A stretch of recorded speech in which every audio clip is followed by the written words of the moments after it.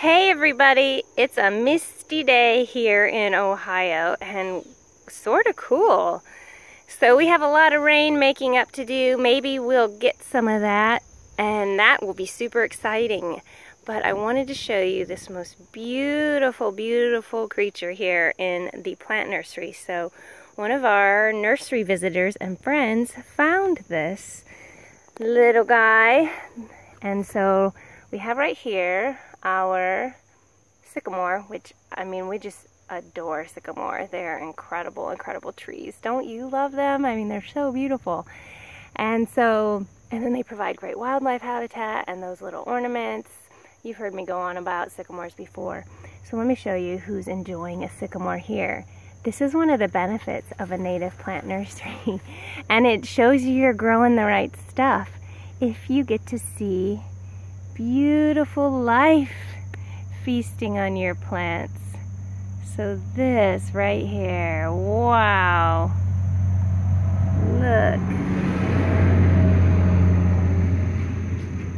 That is a white marked tussock moth caterpillar. And they are pretty common and they are one of the first caterpillars that I saw when I was out of college. I got a job as a naturalist at Lindenwood Nature Preserve in Fort Wayne, Indiana, which is where we both are from. And these guys would roam about at this time of year. And I just about dropped to my knees the first time. I probably actually did. And my jaw hit the ground.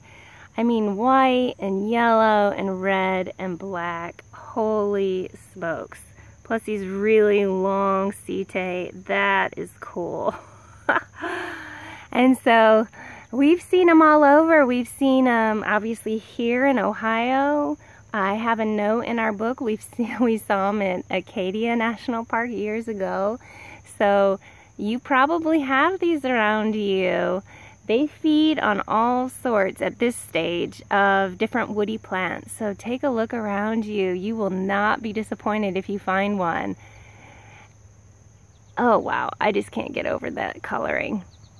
Our native plants are doing their work, aren't they? Exciting! And the goldfinches are singing in the background. Oh, fall is coming. mixed feelings about that, but embracing it because it's going to happen no matter how we feel. Okay, white marked tussock, look it up. And grow some sycamores. Pretty awesome.